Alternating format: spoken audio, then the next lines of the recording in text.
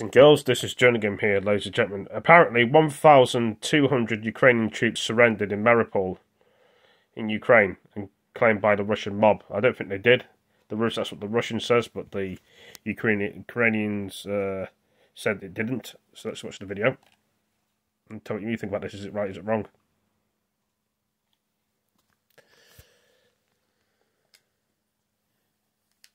So not, there's no volume on it at the minute. These, you know, I don't think the Ukrainians have, have surrendered. They'll take the, take it back if they do. But who knows? There's my feet, as you can see. I've had my nice bath. I'm refreshed and ready to go, as one say to me now. My phone is on low battery as well, so it may not film all the thing. It may go off. It's in the Sun News. The top, where you get the Sun newspaper, anywhere you live in the world.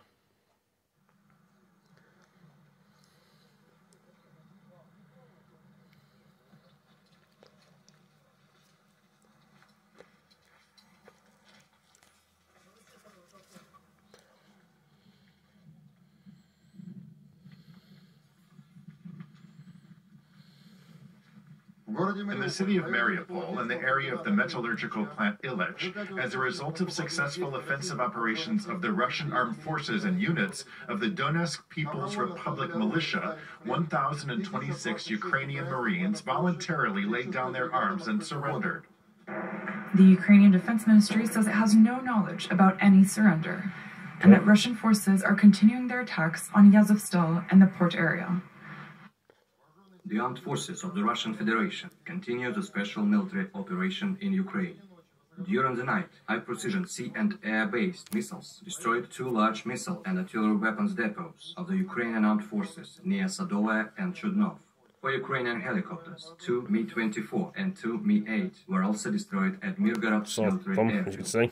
Operational Tactical Aviation of the Russian Aerospace Forces hit 46 military assets of Ukraine, among them two command posts and one radar station near Borovoy, two multiple rocket launchers, and four areas of Ukrainian military equipment concentration near Borovoy and Koskiratkovska.